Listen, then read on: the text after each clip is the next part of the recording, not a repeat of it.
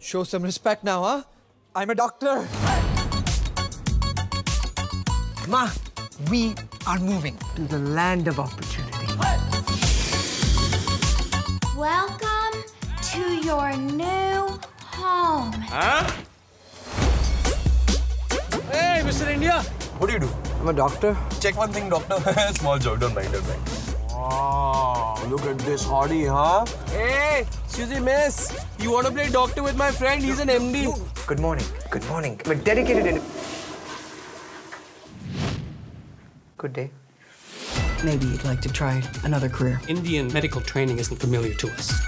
Call if you need some hot chicks masala style. Right now, all I need is a job. You can be like us. I'm a doctor. I'm a PhD in psychology. Physics graduate, Beijing you. I got more PhDs in here than Harvard.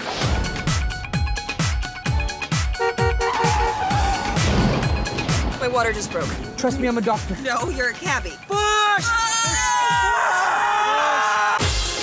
Deepak V. Chopra delivered a baby today. in the backseat of a cab.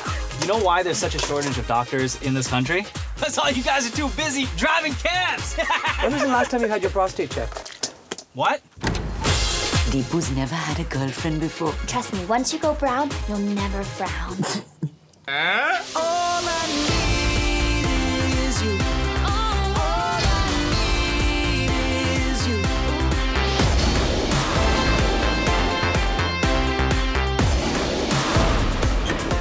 No doing the sexy in my house. I'm not doing sexy in your house. What do you have in your mouth?